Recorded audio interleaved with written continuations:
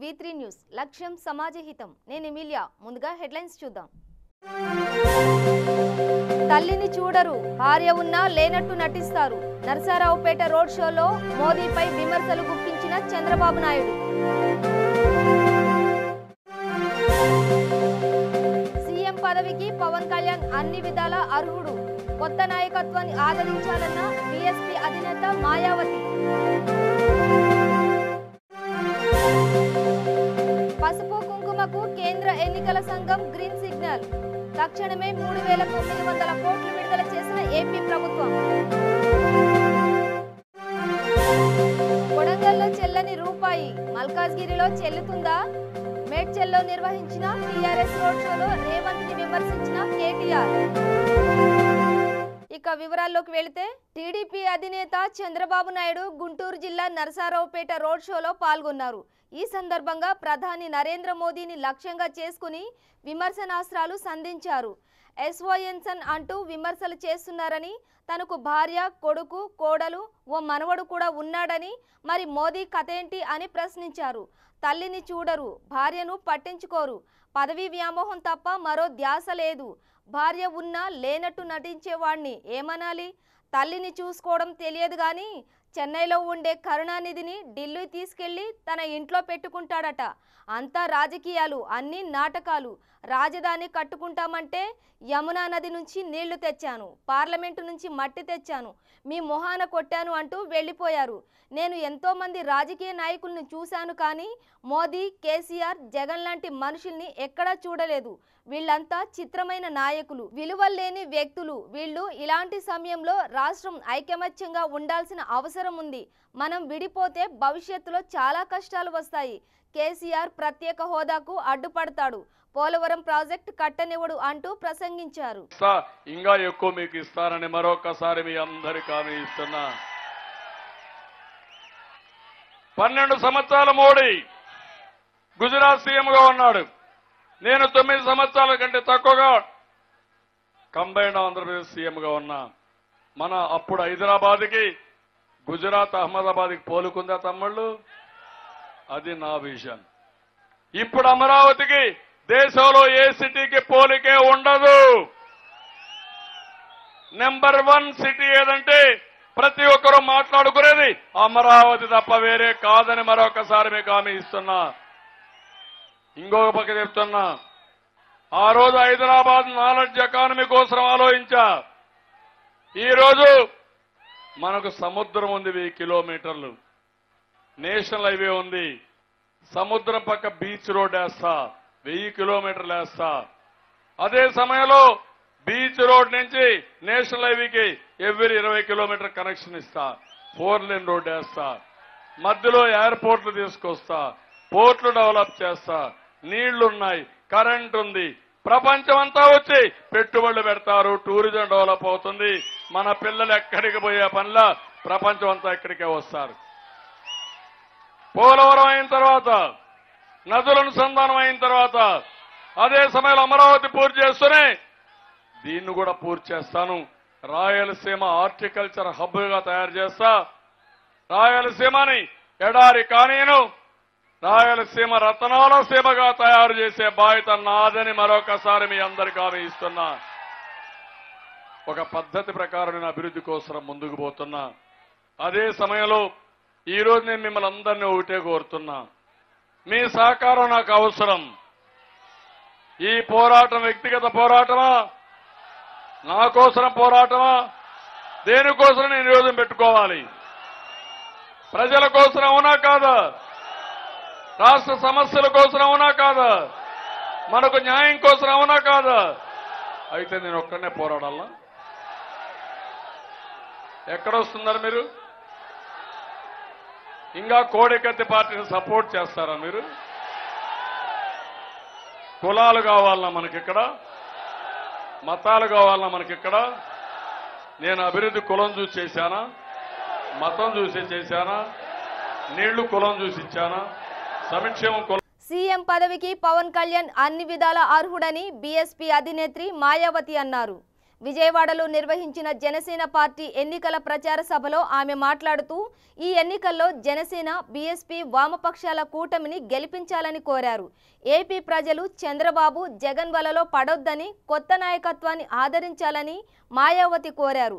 కేంద్రంలో వచ్చేది సంకీర్ణ ప్రభుత్వమేనని అన్ని వర్గాల ప్రజలను మోదీ మోసం చేశారని ధ్వజమెత్తారు. మోదీ చౌకీదారు కాదు చోరీదార్గా మారారు అని ఆరోపించారు. రాష్ట్ర విభజన అనంతరం ఏపీకి సరైన న్యాయం జరగలేదని ఏపీకి ప్రత్యేక హోదా ఇస్తామని హామీ ఇచ్చి మోసం చేశారని విమర్శించారు बीएसपी जन सेना पार्टी तथा सीपीएम सीपीआई आदि के बने इस गठबंधन की चुनावी संयुक्त रैली में जनसभा में इकट्ठा हुए इन पार्टियों के सभी छोटे बड़े पदाधिकारियों एवं कार्यकर्तागण, आज आप लोग यहाँ आंध्र प्रदेश स्टेट में लोकसभा व विधानसभा के लिए इकट्ठा हुए आम चुनाव में अपने गठबंधन के सभी उम्मीदवारों के समर्थन में मेरे साथ साथ जन सेना पार्टी के प्रमुख। व यहाँ आपके आंध्र प्रदेश स्टेट में लोगों की पहली पसंद, लोगों की पहली पसंद के मुख्यमंत्री पद के हर मामले में योग्य, कर्मठ व युवाओं में अति लोकप्रिय उम्मीदवार श्री पवन कल्याण जी को भी सुनने के लिए भारी संख्या में यह इकट्ठा हुए हैं। तो इसके लिए मैं आप सभी लोगों का हार्दिक दिल से आभार प्रकट करती हूँ। लेकिन अब मैं आप लोगों का ध्यान इस चुनाव में यहाँ के आंध्र प्रदेश स्टेट में बने अपने इस गठबंधन को कामयाब बनाने के लिए कुछ ज़रूरी बातों की तरफ़ दिलाना चाहती हूँ। और इस संबंध में मैं आप लोगों को ये कहना चाहूँगी कि आज़ादी के बाद काफ़ी लंबे समय तक केंद्र में व देश के अधिकांश राज्यों में भी ज़्यादातर यहाँ कांग्रेस पार्टी था और बाद में बीजेपी व कुछ समय के लिए अन्य और पार्टियों का भी राज रहा किंतु यहाँ खास ध्यान देने की बात यह है कि कांग्रेस पार्टी పసుపు కుంకుమ నగదు విడుదలకు కేంద్ర ఎన్నికల కమిషన్ గ్రీన్ సిగ్నల్ ఇచ్చింది. ఈ పథకం కింద డ్వాక్రా మహిళలకు ప్రభుత్వం పదివేల రూపాయలు సాయం ప్రకటించిన విషయం తెలిసిందే. ఇప్పటికే మొదటి విడతగా రెండు వేల ఐదు వందలు రెండో విడతగా మూడు వేల ఐదు వందలు ప్రభుత్వం అందించింది. అయితే మూడో విడతగా నాలుగు వేల రూపాయలు అందించాల్సి ఉండగా పథకం నిలిపివేత కోరుతూ రాష్ట్ర ఎన్నికల కమిషన్కు విపక్షాలు ఫిర్యాదు చేశాయి. అయితే లబ్ధిదారుల ఎంపిక పూర్తయినందున పథకం అమలుకు ఇబ్బంది లేదని దీనికి ఎన్నికల కోడ్ అడ్డు రాదని కేంద్ర ఎన్నికల సంఘం స్పష్టం చేసింది. దీంతో వెంటనే ప్రభుత్వం పసుపు కుంకుమ మూడో విడత కింద మూడు వేల తొమ్మిది వందల కోట్లు విడుదల చేసింది. ఏపీలో చంద్రబాబు ఐదేళ్ళ పాలనపై చర్చ కనుక జరిగితే ఈ ఎన్నికల్లో బాబుకు డిపాజిట్ కూడా దక్కదని వైసీపీ అధినేత జగన్ అన్నారు. కృష్ణా జిల్లా మైలవరంలో నిర్వహించిన ఎన్నికల ప్రచార సభలో ఆయన మాట్లాడుతూ చంద్రబాబు ఎన్నో కుట్రలు చేస్తున్నారని ఆయనకు కొమ్ము కాస్తున్న ఎల్లో మీడియా కూడా కుట్ర పన్నుతోందని మండిపడ్డారు. రోజుకో కథ డ్రామా చూపిస్తారని రోజుకో పుకారు పుట్టించి వాటిపై చర్చ జరుపుతారే తప్ప చంద్రబాబు పాలనపై మాత్రం చర్చ జరపరని విమర్శించారు.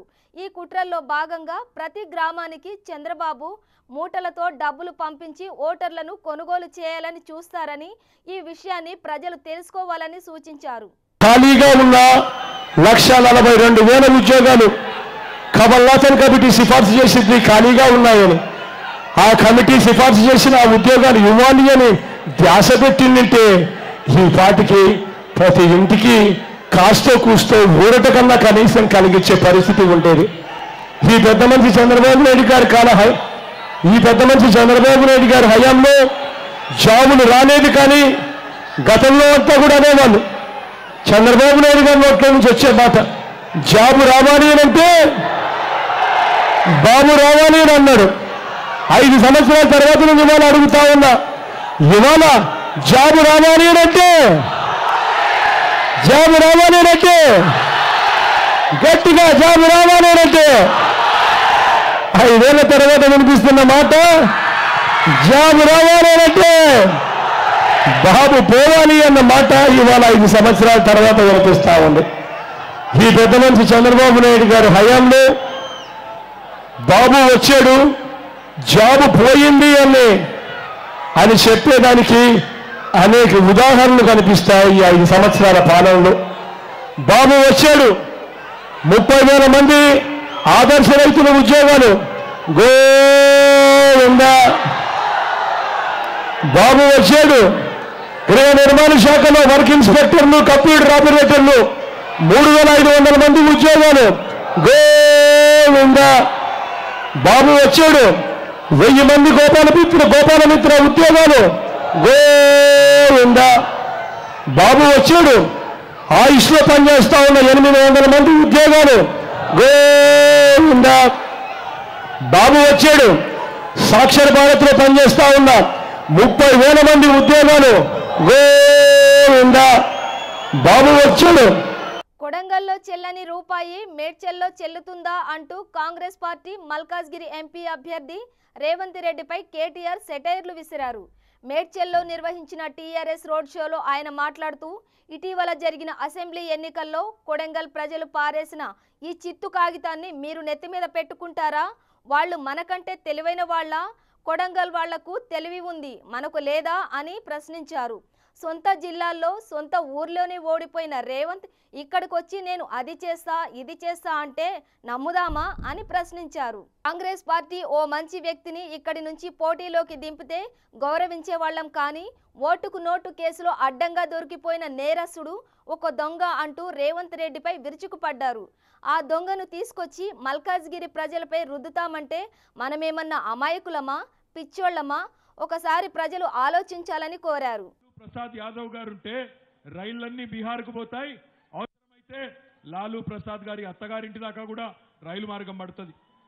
నరేంద్ర మోడీ గారు గుజరాత్ రాష్ట్రానికి సంబంధించిన నరేంద్ర మోడీ గారు భారత ప్రధానమంత్రి అయిన తర్వాత బుల్లెట్ రైలు ప్రవేశపెట్టినారు ఈ దేశంలో. కేంద్ర ప్రభుత్వ ఆధీనంలో నరేంద్ర మోడీ గారు ప్రధానమంత్రి అయితే బుల్లెట్ రైలు ఢిల్లీ నుంచి గుజరాత్కి పోయింది కానీ ఢిల్లీ నుంచి హైదరాబాద్కు మాత్రం రాలేదు. ఈ దేశంలో ఈ రోజున్న వాతావరణంలో మన గొంతు ఢిల్లీలో వినబడాలి అంటే అది టీఆర్ఎస్ ఎంపీల వల్ల సాధ్యం తప్ప కాంగ్రెస్ ఎంపీల వల్లనో బీజేపీ ఎంపీల వల్లనో కాదు. ఈ మాట నేను ఎందుకంటా ఉన్నా అంటే ఒక మాట మీరు ఆలోచన చేయండి. ఒక ఆయన అంటాడు కాంగ్రెస్ ఆయన జాతీయ పార్టీలతోనే సాధ్యం అభివృద్ధి అని మాట్లాడతాడు. డెబ్బై ఒక్కేళ్ళైంది భారతదేశానికి స్వాతంత్రం వచ్చి. ఈ డెబ్బై ఒక్కేళ్ళలో ఒక్క సంవత్సరం కూడా తప్పకుండా ప్రతి సంవత్సరం ఈ దేశాన్ని పరిపాలించింది రెండే రెండు జాతీయ పార్టీలు. యాభై ఐదేళ్ళు కాంగ్రెస్ అదే రకంగా పదమూడేళ్ళు బీజేపీ మూడేళ్ళు జనతా పార్టీ. తప్ప ఏ ప్రాంతీయ పార్టీ పరిపాలించలేదు.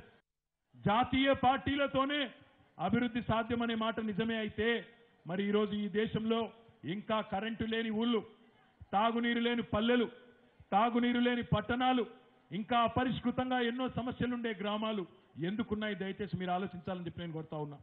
ఇంకొక మాట కూడా విద్యావంతులు విద్యాధికులు అధికంగా ఉండే ఈ పిఎన్టీ కాలనీలో ఎల్బీ నగర్ నియోజకవర్గంలో ఒక్క మాట మీరు ఆలోచించాలని చెప్పి కోరుతా ఉన్నా. ఈ దేశంలో నిజంగా జాతీయ పార్టీలు ఉన్నాయా? నిజంగా ఈ రోజు ఈ దేశంలో జాతీయ పార్టీలు ఉన్నాయా? దక్షిణ భారతదేశంలో ఆరు రాష్ట్రాలు ఉన్నాయి. తెలంగాణ తమిళనాడు ఆంధ్రప్రదేశ్ కర్ణాటక కేరళ పాండిచ్చేరి రాష్ట్రాలున్నాయి. మరి ఆరు రాష్ట్రాల్లో నూట ముప్పై లోక్సభ స్థానాలున్నాయి. నూట ముప్పై లోక్సభ స్థానాలుండే దక్షిణ భారతదేశంలో రెండు జాతీయ పార్టీలుగా చెప్పుకునే పార్టీలకు పట్టుమని పది సీట్లు వచ్చే పరిస్థితి లేదు. తెలంగాణ సీఎం కేసీఆర్ పై టీ కాంగ్రెస్ మహిళా నేత విజయశాంతి నిప్పులు చెరిగారు. పెద్దపల్లి జిల్లా ధర్మారంలో నిర్వహించిన ఎన్నికల ప్రచార రోడ్ షోలో ఆమె మాట్లాడుతూ తాము ఎన్ని వాస్తవాలు మాట్లాడినా అవన్నీ బయటకు రావని ఎందుకంటే మీడియా గొంతు కూడా కేసీఆర్ నొక్కేశారని ఆరోపించారు. ఈ ఎన్నికల్లో టీఆర్ఎస్ ఓడిపోతుందన్న భయంతో కేసీఆర్ ఉన్నారని అన్నారు. దొరా ఎప్పటికైనా ఓడిపోతావు దొరా ఇప్పటికే ప్రజలు నీకు చాలా టైం ఇచ్చారు. ఇక నమ్మరు టైం దగ్గర పడింది మెల్లమెల్లగా దిగుతావు. మేము ఉదయించే సూర్యులం నువ్వు అస్తమించే సూర్యుడివి అని విమర్శించారు.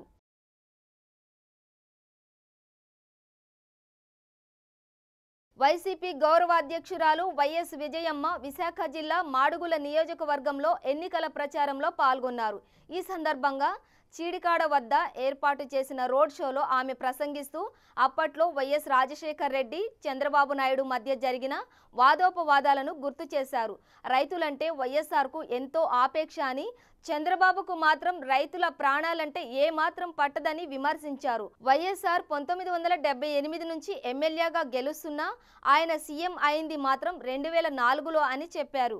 ఆ ఎన్నికలకు ముందు సీఎంగా ఉన్న చంద్రబాబు పాలనలో ఎంతోమంది రైతులు ఆత్మహత్యలకు పాల్పడుతుంటే తట్టుకోలేకపోయిన వైఎస్ఆర్ నిలదీశారని వెల్లడించారు.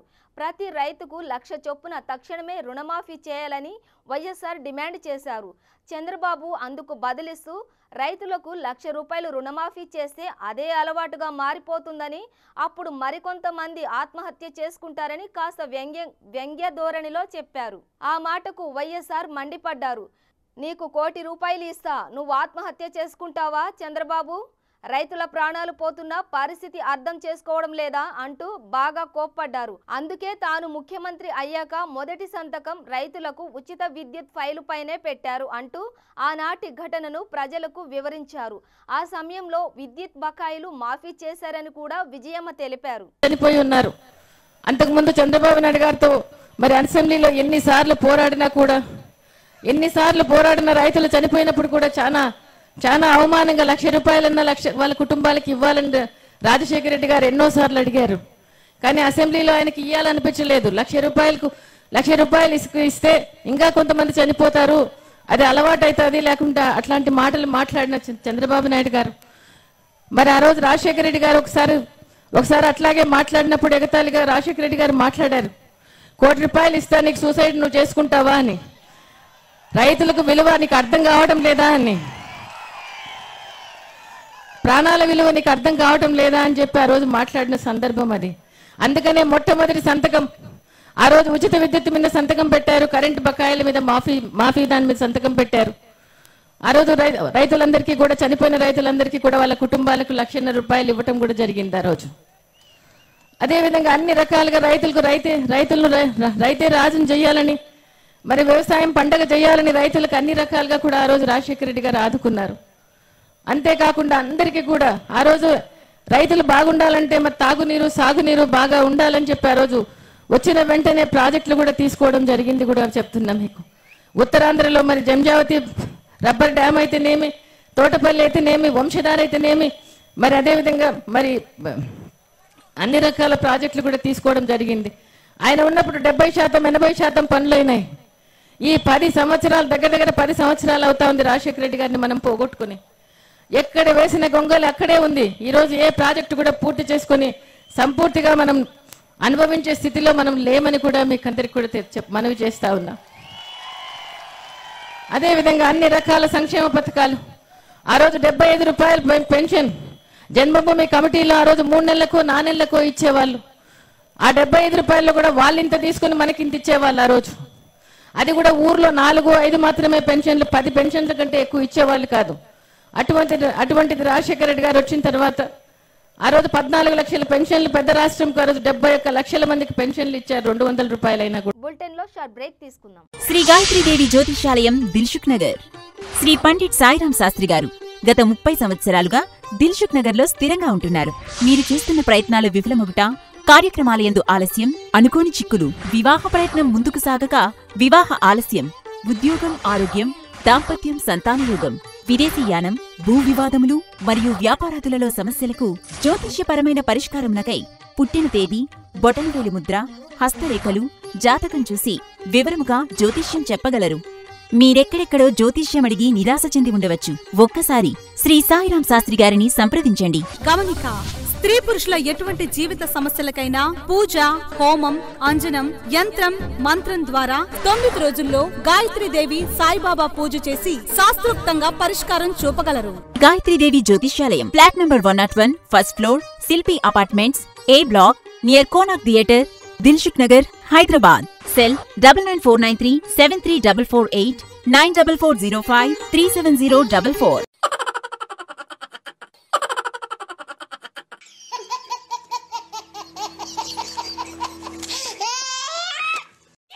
గిలిగిలిగా ప్రతిరోజు ఉదయం పదకొండు గంటలకు తిరిగి రాత్రి తొమ్మిది గంటల ముప్పై నిమిషాలకు.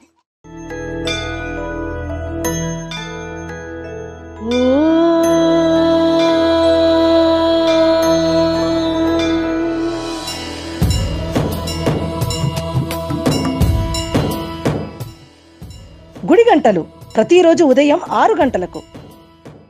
వయసుతో సంబంధం లేకుండా heart attack stroke cardiovascular disease వలన ప్రతిరోజు ఎంతో మంది మరణిస్తున్నారు. దీనికి కారణం ఆహారపు అలవాట్లు coronary risk factors sugar BP అధిక కొలెస్ట్రాల్ ఊపకాయం వ్యాయామం చేయకపోవడం మానసిక ఒత్తిడి రక్తనాళాలలో కొవ్వు చేరడం. అయితే గుండె సంబంధిత వ్యాధులు ఉన్నవారికి మరియు భవిష్యత్తులో గుండె సంబంధిత వ్యాధులు రాకుండా ఉండటానికి హార్ట్ ప్లస్ ఔషధం చక్కగా పనిచేస్తుంది. హార్ట్ ప్లస్ ఔషధ శక్తి హృదయ కండరాలను మృదువుగా ఉంచుతుంది. కరోనరీలో రక్త ప్రసరణ సాఫీగా జరిగేట్లు చూస్తుంది. రక్తనాళాల్లో గడ్డకట్టిన రక్తాన్ని కరిగిస్తుంది.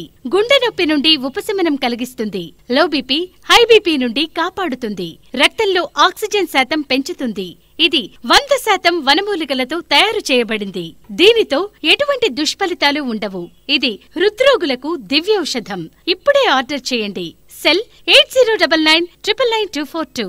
Welcome back. YCP నాయకురాలు నందమూరి లక్ష్మీ పార్వతి ఏపీ సీఎం చంద్రబాబు నాయుడిని లక్ష్యంగా చేసుకుని తీవ్ర స్థాయిలో విమర్శలు చేశారు. స్వయంగా పిల్లనిచ్చి పెళ్ళి చేసిన ఎన్టీ రామారావుకు వెన్నుపోటు పొడిచిన ఘనుడు చంద్రబాబు అని అన్నారు. మంగళగిరి అసెంబ్లీ నియోజకవర్గంలో వైసీపీ అభ్యర్థి ఆళ్ళ రామకృష్ణారెడ్డి తరపున ఎన్నికల ప్రచారంలో పాల్గొన్న సందర్భంగా లక్ష్మీపార్వతి ఈ వ్యాఖ్యలు చేశారు.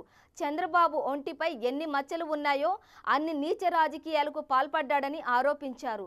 చంద్రబాబు గురించి చెప్పాలంటే ఈ అత్తే ఎందుకు సరైన వ్యక్తి అని వ్యాఖ్యానించారు. జగన్ సొంతంగా పార్టీ పెట్టి నడిపిస్తుంటే చంద్రబాబు వెన్నుపోటుతో సంపాదించుకున్న పార్టీని నడిపిస్తున్నారని ఎద్దేవా చేశారు. ఆఖరికి ప్రజల కోసం పోరాడుతున్న జగన్పై హత్యాయత్నం కూడా చేయించాడంటూ లక్ష్మీ పార్వతి మండిపడ్డారు. మతిమరుపు వ్యాధి కారణంగా చంద్రబాబు ఇచ్చిన హామీలు మర్చిపోతుంటాడని ఎన్నికలైన తర్వాత తానేం చెప్పాడో గుర్తుండదని వ్యంగ్యంగా ప్రదర్శించారు. ఈ ఎన్నికల తర్వాత చంద్రబాబు లోకేష్ సింగపూర్కు పారిపోక తప్పదని జోస్యం చెప్పారు.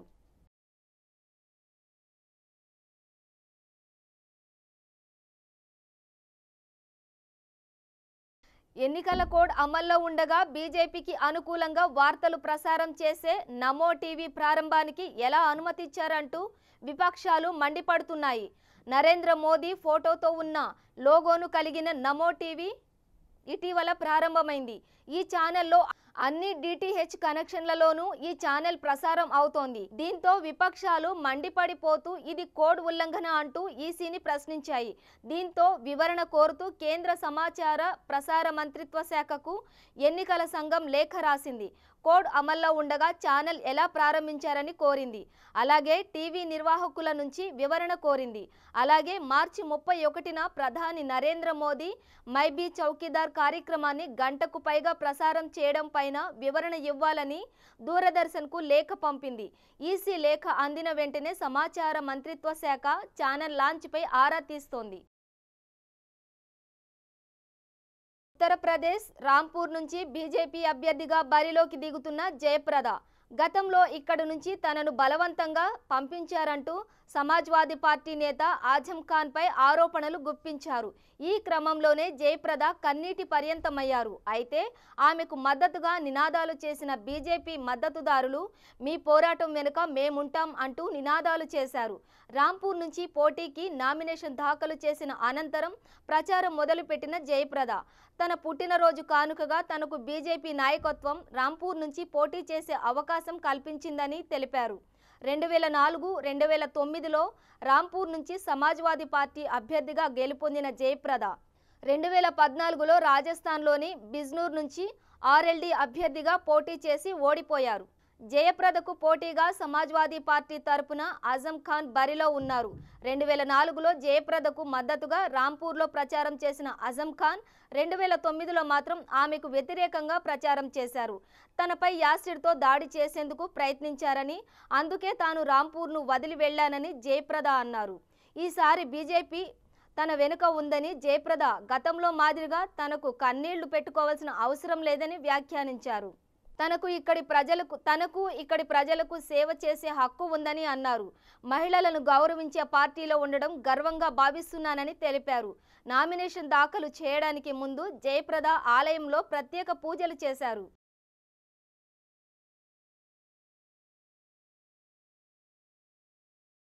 ఖైరతాబాద్ ఎమ్మెల్యే దానం నాగేందర్ అధ్యక్షతన బంజారా లెక్యూ ఫంక్షన్ హాల్లో మైనార్టీ సెల్ ఆధ్వర్యంలో మైనార్టీల సమావేశం నిర్వహించారు.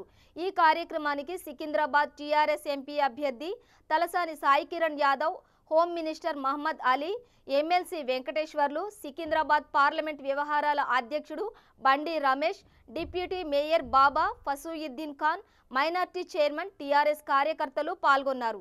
ఈ సమావేశంలో ఖైరతాబాద్ ఎమ్మెల్యే దానం నాగేందర్ మాట్లాడుతూ తలసానికి మీ ఆశీస్సులు కావాలి ये भी हिंदू मुस्लिम के अलग बढ़ा है नौजवान आए हैं और उनको भी जो है दिल की गहराई से उनको तालियों से स्वागत करिए और हमारे बंडी रमेश साहब और माइनॉरिटीज के चेक आज कमेटी से फसीउल्ला साहब को भी तालियों से इस्तेमाल कीजिए और नौजवान, हमारे हरदिल अज़ीज़ दोस्त अरशद अरशद साहब का भी स्वागत कीजिए। और हमारे आज़म भाई, हमारे मोहम्मद अली साहब के अब जो है, बहुत ही खुशमिसाज है हमारे भाई। उनका भी इस तरह और हमारे भाई नीचे बैठे हुए नीचे बैठे आप लोग सुनिए आप सब लोग एक को देख के दूसरे आते हैं बैठो नीचे बैठो। हमारे? जफर साहब और जो है हाँ, सुल्तान कादिर साहब का भी मैं इस्तेमाल करता हूँ ज्यादा वक्त ना लेते हुए आज सेवा मेरा दिन और जो है फिर आज देखने की रात भी है तो मैं आप लोगों से एक ही गुजारिश करना चाहूँगा आज हमारी माइनॉरिटी भाइयों के ऊपर बहुत बड़ी जिम्मेदारी है जिस तरह का माहौल यहाँ पर पैदा हुआ है तेलंगाना रियासत में एक अंतिम టీఆర్ఎస్ పార్టీ సికింద్రాబాద్ క్యాండిడేట్గా నా ప్రచారంలో భాగంగా ఎమ్మెల్యే నాగేందర్ గారు పిలిచినట్టు మైనారిటీ బాయిల మొత్తం మీటింగ్ పెట్టుకున్నాం ఇక్కడ మనం ఖైరతాబాద్ కాన్స్టిట్యున్సీలో లేక్ వ్యూలో ఇక్కడ అందరూ భారీ స్పందన ఉంది ప్రజల్లోకి వెళ్ళినప్పుడు హండ్రెడ్ పర్సెంట్ అందరూ కేసీఆర్ గారికే ఓటేస్తాము కారు గుర్తుకే ఓటేసి అన్ని సీట్లు గెలిపిస్తామని హండ్రెడ్ పర్సెంట్ చెప్తున్నారు. అందుకని చాలా సంతోషంగా ఉంది. ఇంకోటి మా వంతు కృషిగా అందరూ ఓటర్లను కలవాలి. ఇరవై లక్షల ఓటర్లు ఉంటే హండ్రెడ్ పర్సెంట్ ఇరవై లక్షలను కలిసే ఉద్దేశంతోనే రోజుకి ఐదు పాదయాత్రలు రెండు పబ్లిక్ మీటింగ్లు అన్ని కాన్ఫరెన్స్ కవరేజ్ పెట్టుకున్నాము बिस्मिल्लाह रहमान रहीम मैं सब माइनॉरिटी भाइयों को भी एक गुजारिश करता हूँ आप ज़्यादा से ज़्यादा रकम का वोट 100 परसेंट टी पार्टी को देके टी पार्टी का उम्मीदवार जो मैं हूँ सिकंदराबाद से मेरे को आप पूरे माइनॉरिटी भाई सपोर्ट करो 100 परसेंट इन ताला इंशा चाहे तो सर- सरकार सेंट्रल में भी अपने बनेगी जब मजबूती होगी असद साहब से भी मजबूती है अपने को पार्टनरशिप है तो अपना क्या होता गवर्नमेंट भी अपना होता और पार्लियामेंट भी अपना होता तो डेवलपमेंट हंड्रेड परसेंट अभी ऐसी रियासत है के साहब की, जो 2000 करोड़ रुपए खर्च करते हैं माइनॉरिटी भाइयों के ऊपर। चाहे वो रेजिडेंशियल स्कूल हों दो चाहे वो पेंशन हों दो चाहे वो डबल बेडरूम हों दो चाहे वो छः किलो चावल हों दो हर पे खर्च कर रहे और भी ज़्यादा फंड्स आने का आवश्यकता रहता हंड्रेड परसेंट जिताओ। ना केवल सिर्फ़ सिकंदराबाद, पूरा तेलंगाना आवाम माइनॉरिटी भाई किधर भी है, आप थोड़ा रिक्वेस्ट करके सभी एरियाओं में 100 परसेंट टी पार्टी कार निशान पे वोट दाके जिताना बोल के मैं आपसे उम्मीद करता हूँ जय तेलंगाना బులెటిన్ ముగించే ముందు హెడ్లైన్స్ మరోసారి తల్లిని చూడరు భార్య ఉన్నా లేనట్టు నటిస్తారు నరసారావుపేట రోడ్ షోలో మోదీపై విమర్శలు గుప్పించిన చంద్రబాబు నాయుడు సీఎం పదవికి పవన్ కళ్యాణ్ అన్ని విధాల అర్హుడు కొత్త నాయకత్వాన్ని ఆదరించాలన్న బీఎస్పీ అధినేత మాయావతి. పసుపు కుంకుమకు కేంద్ర ఎన్నికల సంఘం గ్రీన్ సిగ్నల్. తక్షణమే మూడు వేల తొమ్మిది వందల కోట్లు విడుదల చేసిన ఏపీ ప్రభుత్వం. కొడంగల్లో చెల్లని రూపాయి మల్కాజ్గిరిలో చెల్లుతుందా? మేడ్చల్లో నిర్వహించిన టీఆర్ఎస్ రోడ్ షోలో రేవంత్ని విమర్శించిన కేటీఆర్. ఇవి బులెటిన్ విశేషాలు. చూస్తూనే ఉండండి వి న్యూస్ లక్ష్యం సమాజహితం